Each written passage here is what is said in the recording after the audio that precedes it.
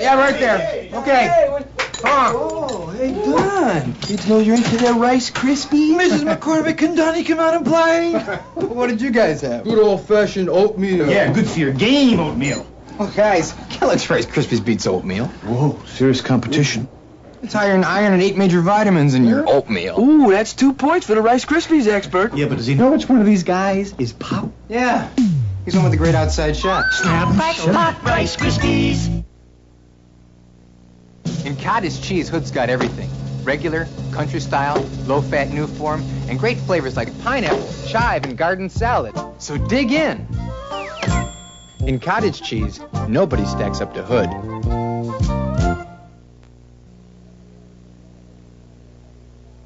The other day, the people at Edwards told me they have this new policy to get people checked out fast. Sure, I said. Put magazines at the checkout to keep them busy. No, they said. Anytime there are three people waiting in line, they open another register. Pronto. Three, I said. Okay. One, two, three. Pronto. Pronto? Edwards TLC. Total lower cost and faster checkouts, too. So that's what they mean by TLC. Okay, Fred, let's play Name That Deal. You can buy this new Mitsubishi Mighty Max at what special finance rate? Uh,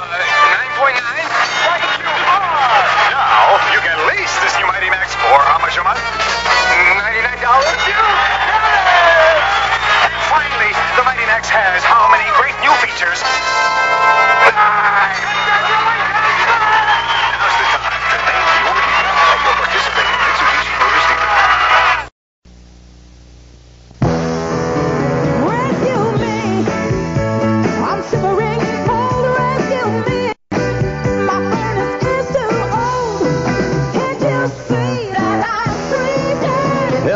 on the way. Just call a Bryant dealer to the rescue and get the Plus 90i. It's the most energy efficient gas furnace you can buy, and only your Bryant dealer has it. So call Bryant to the rescue. Come on, Brian, and rescue me. Rescue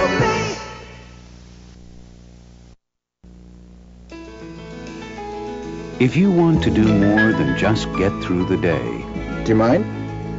let the New York Times help. The Times can give you the options you need Thank you. to soften the edges of a busy day.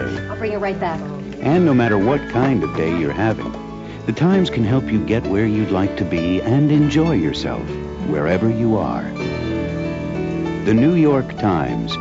It adds life to your life.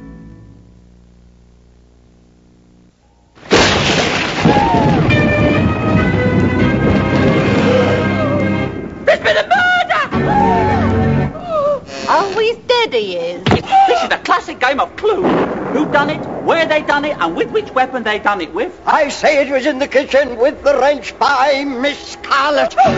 He's dead and alive, you old geezer, with a bloody lead pipe. All right, knife in his back.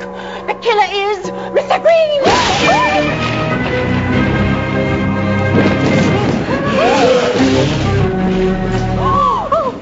Could have been someone else. Oh, I'd say so. The game of Clue.